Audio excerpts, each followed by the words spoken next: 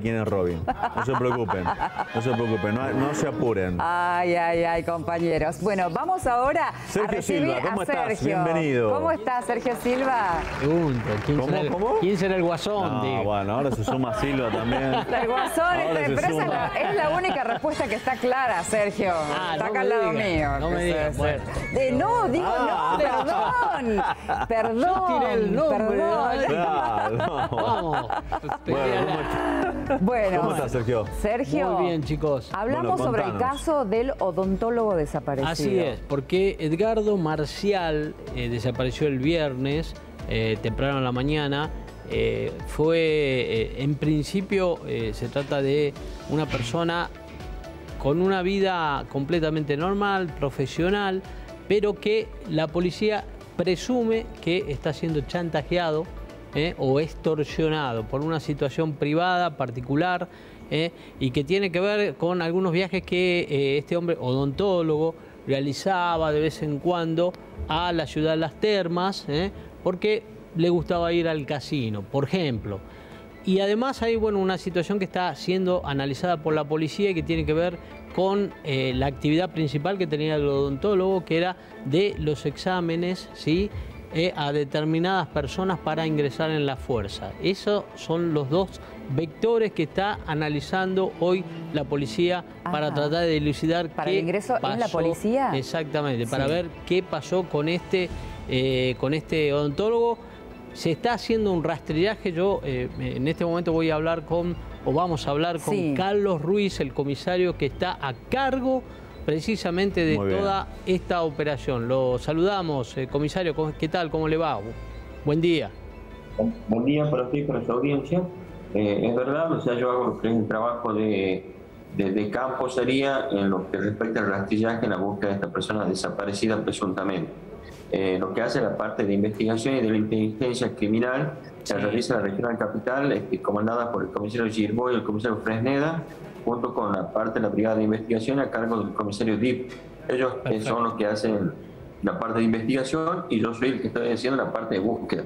Comisario, Este- ¿y qué se hizo en el día de hoy, o qué se está haciendo, mejor dicho, en el día de hoy?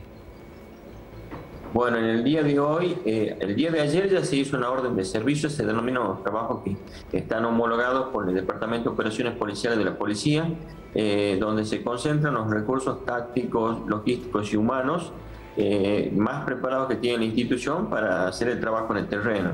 Ayer contamos con el grupo de infantería, contamos con el grupo cero, contamos con la división motorizada, que está integrada en el 911, contamos con personal de las comisarías de jurisdicción, todos a cargo de su jefe, y también nos colaboró eh, la Universidad Nacional de Tucumán con su guardaparque para hacer el trabajo de, de senda, sería en la búsqueda.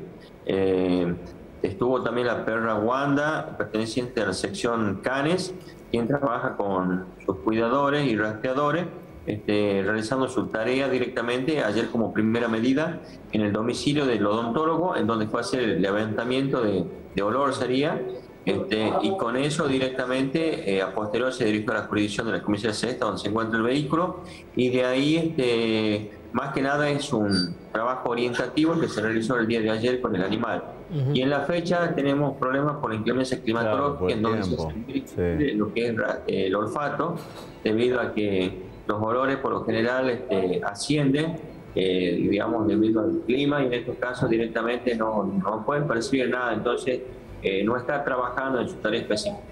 Comisario. ¿cuál es la zona de búsqueda? ¿Cuál es el perímetro que han delimitado para llevar adelante la búsqueda? El día de ayer trabajamos desde la Comisión del Corte por la ruta provincial hasta San Javier. Bien. Eh, ahí se realizó tareas de recorrido y avistamiento eh, con descenso hacia las pendientes y, y cortes que tiene de accidente la montaña. Eh, todo fue negativo, por supuesto, en lo que respecta a nuestro trabajo. Eh, en el día de la fecha se digamos otra orden de servicio a través del Departamento de Operaciones Policiales y eh, eh, se extendió la búsqueda directamente desde San Javier, en una parte desde San Javier hacia la ciudad universitaria, yendo hacia la ruta Rasco. Y en la otra parte eh, trabajan los equipos de, de grupos especiales en la zona de Villa Nogué, sería eh, zona de la ruta que va a, a San Pablo, o sea, Claro. el descenso de la montaña de San Pablo, pero como les digo, eh, se vio muy limitado el trabajo ya que Bien. solamente se pudo usar este vehículos rodantes y de hacer descenso en donde se nota quiebres de, sería de la quiebres en, en- Perfecto, comisario. de la montaña. Claro, Le- claro. Lo, lo último que para ya despedirlo, ¿hay alguna razón específica por la que ustedes están enfocando la búsqueda allí en esa zona? Eh, en realidad había una versión que fue descartada el primer día que decía que él había concurrido a un cumpleaños en la zona de San Javier. Mm. Ese día nos constituimos junto con el señor jefe de la región norte, que es el comisario Soria, el- los comisarios Girbo y Fresneda, que están a cargo de la investigación, eh, a la zona de, de un hotel reconocido, que es el lugar en donde se hace contacto primeramente con el encargado, quien nos facilita el nombre de quien organizó el evento, que sería una mujer, y ella manifiesta de que dentro de su reducido grupo no se encontraba esta persona y que tampoco la conocía, o sea que esa prueba eh, directamente ha sido descartada. Exactamente. Eh, Pero se sigue buscando por, por las versiones que tenemos en esta zona. No descarto que de un momento a otro lo que es la parte de delitos telemáticos de la Policía de Tucumán pueda tener una luz o aportar mayor información para poder determinar a Bien. través de la línea telefónica Claro, cuál claro. es la última antena en donde emitió señal, Sí. como para centralizar ya la búsqueda en esa zona. Perfecto. Y hablando de, de la línea telefónica y de las últimas llamadas, además de esto, comisario, ¿se está investigando a gente de, de su entorno eh, por la desaparición de- del odontólogo?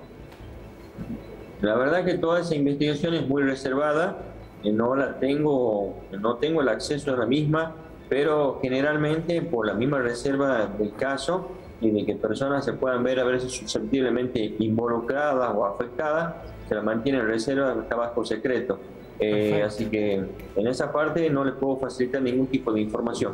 Claro, claro. Bien, bueno, le perfecto. agradecemos, comisario, es, todas estas estos conceptos. eh, seguramente vamos a continuar en contacto para, para seguir la noticia. Muchas gracias. No, por favor, a su disposición, muchas gracias por hacer conocer nuestro trabajo desde la Jefatura Zona 2 de la región norte. Bueno, ahí gracias. estaba el comisario Carlos Reed. Vamos, dos, dos cositas con respecto a este Sí. mismo caso. Eh, una tiene que ver con lo que preguntaba recién Marité. Sí. El celular no apareció. Y esto es muy importante para la investigación. Yo entiendo que el comisario, claro, no podía dar detalles porque le pertenece Claro, a otra claro. Área. sí, Sí. sí, pero hay... Pero hay... el celular no apareció y es muy importante el celular, como ustedes saben, para la, la aceleración de la investigación. Sí. Lamentablemente, por ahora lo que están haciendo es un pedido a una empresa telefónica para remitir la información y eso ¿Pero qué hipótesis hay, lentifica Sergio? todo. Bueno, hay una hipótesis de, de un tema muy delicado que tiene que ver con la intimidad de este señor, que podría haber sido extorsionado por dos personas jóvenes a las cuales él asistió en algún momento. Y no sabemos si mantuvo algún tipo de relación, ¿no? Ah. Esto es lo que aporta una testigo muy importante que es una policía. que conoce, era amiga de este hombre y que según lo que manifiesta esta policía, lo notó por lo menos angustiado en las últimas horas. Ahí estaría la clave, Claro. chicos, de Perfecto. todo este caso. Hay que ver desde la desaparición hacia atrás. ¿Qué, qué hizo Exactamente. antes? Los días previos a la desaparición. Claro, claro. Así es. Muy bueno, bien. gracias, Sergio, como siempre. Estamos Gracias, en contacto. Sergio. Gracias Hasta a la próxima semana. Bueno, hacemos...